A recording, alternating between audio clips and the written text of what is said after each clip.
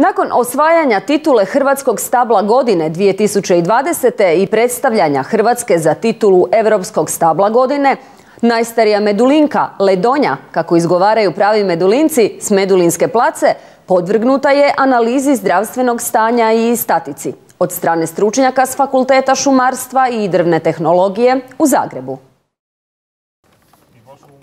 To je zapravo nagrada koju je Medolinska Ledonja osvojila pobjedivši na nacionalnom natjecanju za Hrvatsko stablo godine 2020. Pa na prvu imamo dosta pozitivne dojmove, stablo je e, uredno održavano, nalazi se u dosta dobrom stanju, tako da očekujem da će rezultati biti pozitivni i da ćemo dobiti neke konkretne preporuke koje će mu pomoći dalje u razvoju. Analiza zdravstvenog stanja i statike provedena je sigurnim i neinvazivnim metodama rezistografiranja i zvučnog tomografiranja.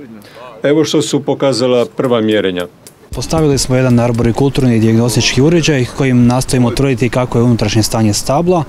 E, korištenjem ove metode e, mjerimo brzinu prolaska zvuka e, po unutrašnjim dijelovima tog stabla kako bi utvrdili da li su znači, ti unutrašnji dijelovi zdravi ili postoji određena degradacija drva koja dovodi do smanjene brzine prolaska zvuka.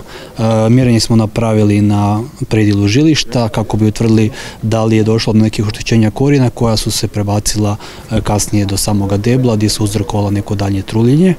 Međutim, e, koliko smo uspjeli vidjeti, znači na ovom prvom mjerenju e, žilište ovog stabla je potpuno zdravo, tako da ovo je jedan dobar pokazatelj, a kažem ostale rezultate ćemo dobiti kako budemo dalje istraživali, odnosno kako se budemo e, približavali ovim višim dijelima stabla, kako bi opet na isti način ili nekim drugim metodama utvrdili da li tu postoje određeni problemi, odnosno što se tu može napraviti kako bi se poboljšalo. Ovo je jedan dobar pokazatelj i, kažem, e, odgovara nekom vizualnom nalazu onome što smo utvrdili e, tim prvim pregledom. A da je najstarija medulinka zdrava u svom žilištu pokazuje i zelena boja na ovom grafikonu nakon mjerenja i analize debla. Tako unatoč poznim godinama Medulinska Ledonja zdrava i čila dočekuje samo završnicu natjecanja za titulu Europskog stabla godine 2021. Sutra je predviđen postupak kloniranja Medulinske ledonje kojeg će baviti stručni tim e, Hrvatskog e, instituta šumarstva iz Jastrebarskog na način da će se izdvojiti plemke sa njene krošnje te će se na taj način dobiti veći broj mladih ledonja istog genotipa najstarije medulinke.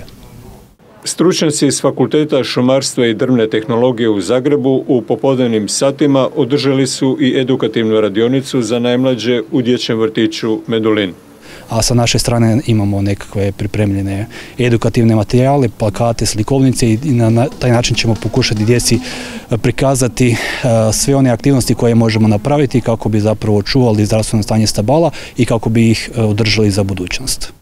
A do kraja veljače još imate priliku dati svoj glas najstarijoj Medulinki i svojim je glasom pomoći u osvajanju prestižne titule Europskog stabla godine 2021.